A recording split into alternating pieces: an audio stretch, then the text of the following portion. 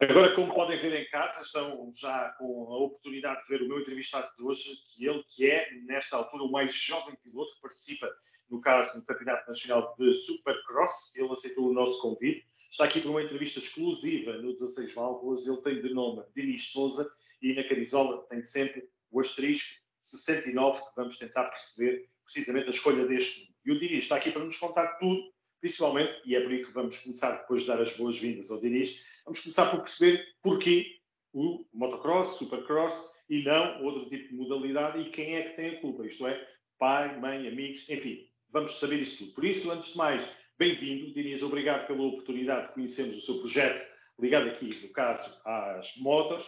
E eu iria perguntar, porque sabemos que hoje em dia está no Supercross, mas antes disso, quando é que tudo começou, com que idade? Porque o Diniz tem 14 anos, nesta altura. Eu pergunto, quando é que tudo começou e por onde é que começou e quem é que tem culpa. Ainda se lembra disso tudo, Divis? Bem-vindo, uma boa noite. Boa noite, sim, lembro. Uh, comecei com 8 anos. Uh, quem teve a culpa, entre aspas, foi o meu pai. Eu comecei a ver desde pequeno. Uh, comecei-me a motivar, comecei a gostar cada vez mais de motocross. Gostava muito de ver o meu pai saltar e de outros pilotos também e comecei a, entrar no motocross até o meu pai dar uma pequenina moto, uma pit bike. Depois comecei a treinar um bocado com o meu pai, uh, perto de casa, nos montes e isso. Depois, mais para a frente, tive uma oportunidade de uma moto melhor, uma KTM 65, em que comecei a fazer o Nacional de Motocross e de Supercross, que foi tudo no mesmo ano, uh, e foi espetacular. E nunca surgiu outra oportunidade, nunca houve outro amor nisto das motas, uh, gostar de experimentar, sei lá, off-road, por exemplo, não sei, pergunto eu. Uh, de outro desporto, pá, nunca gostei de futebol, sinceramente. Uh, e mesmo do desporto de, de, rodas e isso, nunca gostei muito de bicicletas nem nada. Uh, de outros tipos de, de modalidade no motocross, uh, nunca, também nunca gostei. Enduro e isso nunca foi uma forte já fiz provas de enduro, não foi mal de todo, mas nunca foi uma forte. Sim, prefiro motocross e principalmente supercross. Aí é que está a vocação, claro, do Diniz. Muito bem, Diniz, e nestes anos todos, até chegarmos a este tempo, vamos já falar precisamente desta temporada do Supercross, uh, eu ia perguntar se pedisse assim, uma data ou um acontecimento ou um resultado de relevo, do que é que se lembra, Diniz? O que é que está na memória, uma coisa, uma prova que nunca mais esquece até a contar aos seus netos?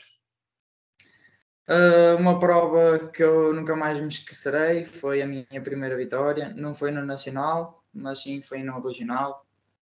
Uh, de 65, que nunca tive, treinador, uh, nunca tive treinador na altura. Agora que tenho, que é o Daniel Pinto. Um, foi muito, fi foi muito fixe, foi muito divertido. Andei na primeira posição nessa prova adorei e foi sempre isso que eu gostei. A ganhar corridas. E foi uma prova difícil, foi uma prova difícil, daquelas de trás para a frente em que tem mais valor, ou pelo contrário, o fim de semana correu como se esperava, os treinos bons e depois a corrida também, tudo sempre em alta?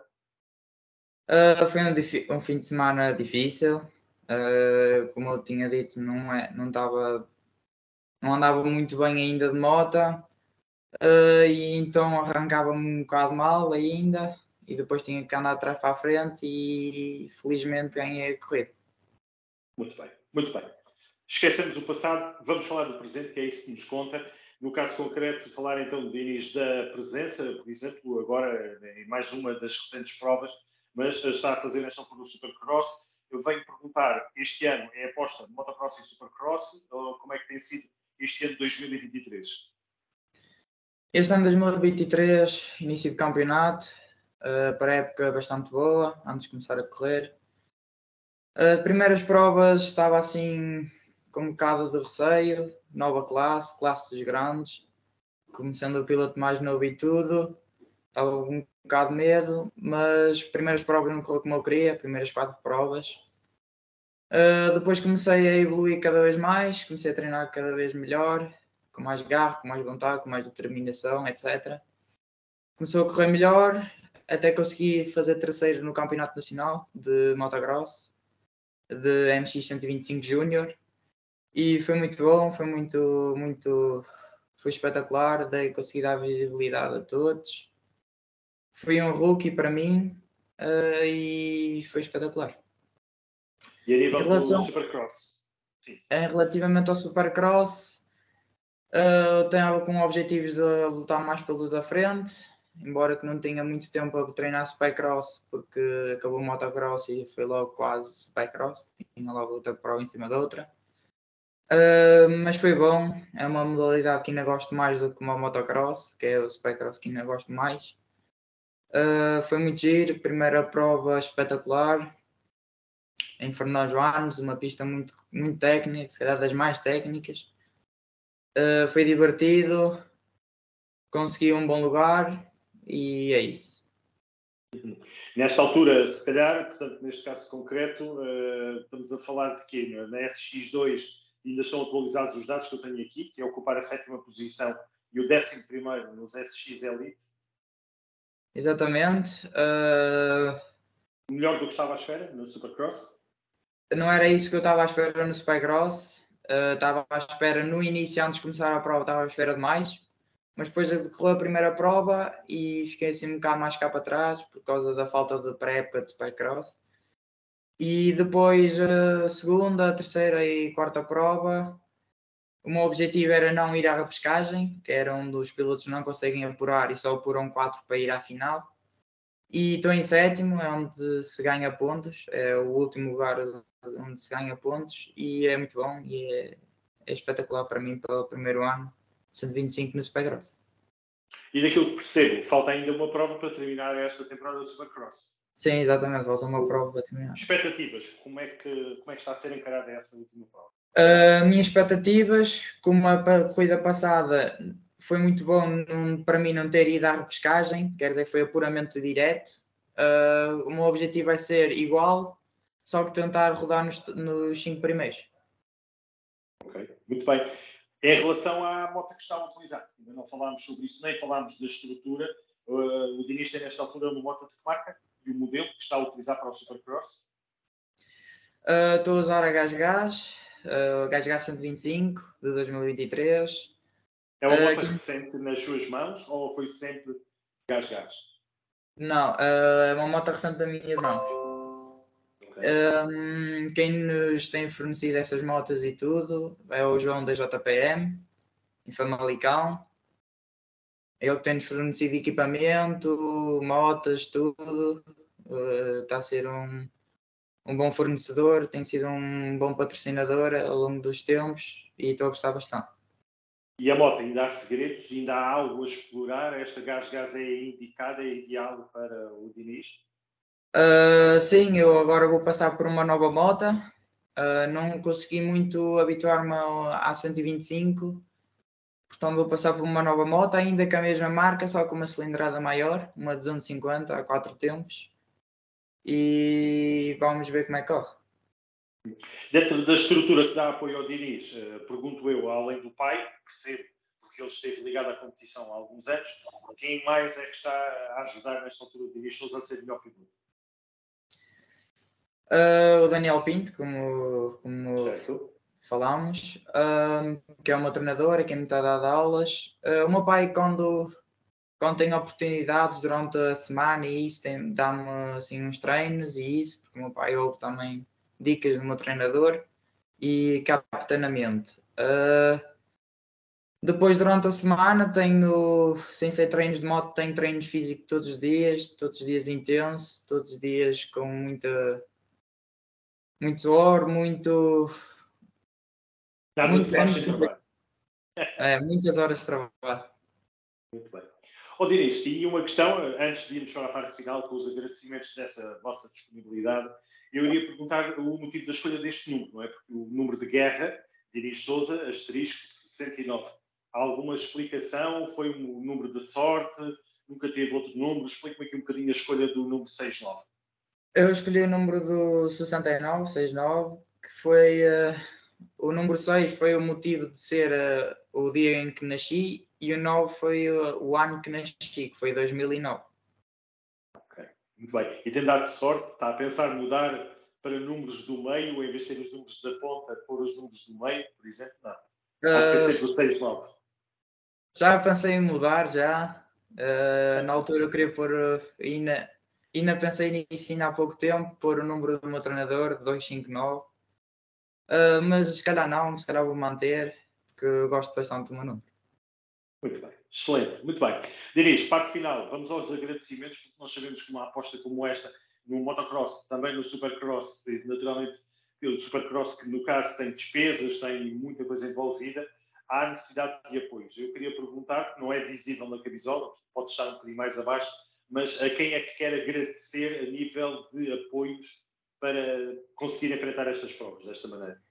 Uh, para o campeonato que está quase a terminar, quero agradecer à JPM, uh, os meus patrocinadores, que são esses os principais, sem eles não consigo uh, andar nesta modalidade. À Castrol, à Iberian Café, que é um grande patrocinador também. Uh, gás, uh, gasadas no asfalto, Motoclube Figueiras, uh, Motomário, a Câmara Municipal Passos Ferreira, Câmara Junta de Freguesia de Pena Maior e muitos. Muito bem, muito bem. Mas estão aqui os principais, e neste caso vamos chamar de iguais aos outros, mas que representam naturalmente aqueles que não tinham sido feitas as menções, mas sempre com espaço para mais, não é, Diniz? Portanto, se houver sempre mais alguém que queira apoiar, é falarem com o Diniz Souza, asterisco 69, e tudo se resolve. É assim, não é verdade, Diniz? Exatamente. Muito bem. 2024 é, já está aqui à porta, seis meses, vá que seja, já estamos em 2024. Percebo mudança de moto. Agora, porque a marca vai ser a mesma, já explicou isso. O que é que vai ser no próximo ano? Outra vez motocross e supercross, mas noutras categorias, o que é que está previsto? Uh, 2024. Expectativas também vão ser um bocado mais complicadas. Uh, já não vou estar na classe mais pequena, que era 125 Júnior vai ser mesmo MX2 e SX2, que vou fazer só motocross e supercross, em princípio. Se calhar ainda não sei se vou fazer algumas provas de enduro ou assim. Uh, a moto, como já revelei, vai ser uma 250 a 4 tempos, gás-gás. Uh, os objetivos, pá, gostava de fazer, tentar entrar nos 10 primeiros da categoria de motocross e no supercross conseguir fazer uns pódios. E vai ser no próximo ano que dá uma escapadela a alguma prova internacional fora de Portugal ou ainda não? Sim, uh, infelizmente não há aquelas provas como tem os mais jovens, nas categorias mais pequeninas, que é provas que vão lá fora, que a Federação consegue. Se calhar vou tentar fazer o europeu aqui em Águeda de 2,5 Uh, vai ser bastante intenso, muito intenso mesmo. Uh, se calhar tentar fazer algumas provas em Espanha, de regional, algumas de nacional, e é só. E já que me falou da federação, há tipo, pergunto eu, algum tipo de apoio para jovens, 14 anos, estamos a falar de um jovem com vontade de começar a fazer alguma coisa, há apoio da, da, parte, da parte da própria federação? Uh, sinceramente, não tenho bem a certeza. Pá, cenas de patrocinadores e isso. Ou depois é, da divulgação, mais... procurar trazer um bocadinho mais do Diniz? Uh, eles procuram mais nos mais jovens, nos mais velhos, agora que, que é, é óbvio que ainda sou jovem, mas como já estou numa classe grande, eles já não vão gostar tanto em nós, se calhar. Não tenho a certeza, que ainda estou agora numa classe grande há pouco tempo. Uh, mas sim nos mais novos que já tive bastante tempo, eles aposto, levo-nos lá fora à Bélgica, é uma prova que também que se representa na final de todas, que é a Coupe de l'Avenir, na Bélgica. É uma prova que também foi muito intensa e tudo, e aí eles ajudam, sim. Muito bem. Dinis Souza, agradecer a simpatia mais uma vez e a disponibilidade após um dia de trabalho. Percebi eu que foi um dia complicado, mas pronto, está aqui e tenho que agradecer a simpatia mais uma vez. Aí também ficaram os votos de uma excelente temporada, falta ainda uma no Supercross para terminar as situações, mas que 2024 seja mais um ano de sucesso e um ano de crescimento, que eu já percebo que o Diniz tem tudo para dar certo. Da minha parte, agradecer e desejar excelentes corridas. Uma boa noite, Diniz, e até breve. Boa noite, obrigado. Obrigado e boa noite.